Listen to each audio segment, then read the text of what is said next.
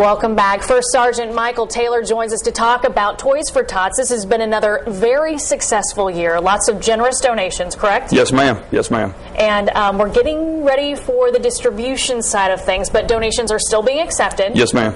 And um, I want you to kind of walk us through the distribution process because uh, you do it in a unique way. Yes, ma'am. Very cool. Uh, down at the, Terre Haute Fairgrounds on Thursday, we'll start it. What we do is we we have a line that will start at zero before zero nine in the morning. Mm-hmm. Uh, we'll bring them in, and after they sign in, the Marines will walk them around, give them stocking stuffers, books, and, or, and a game or, or a game or two. And then from there, what we do is we take them to the age group per their child, and they get to get up to two to three toys per child, and they get to pick the toy. We don't give it to them, so they might find something that their child's been wanting for a long time. They get that toy, we put it in the bag, and then their Christmas is made for that child. You have to be so excited because you've already seen the workshop behind the scenes, and then just to imagine being a child walk in and just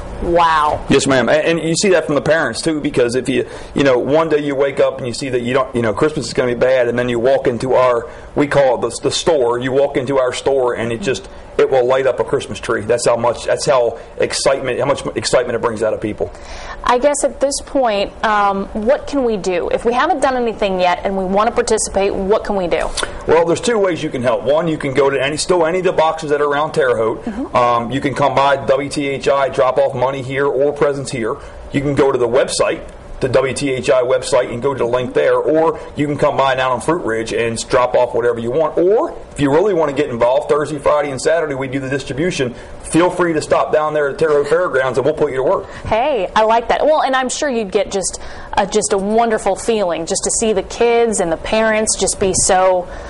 You'll, you'll- Appreciative. yes, ma'am. I still remember people from last year that really impacted me. Wonderful, wonderful. And if you have not signed up and Christmas looks to be bad for a child that you know, there's still help available. Yes, ma'am. The Salvation Army has stopped doing their sign-ups. You need to come down to South Fruit Ridge, where our Marine base is.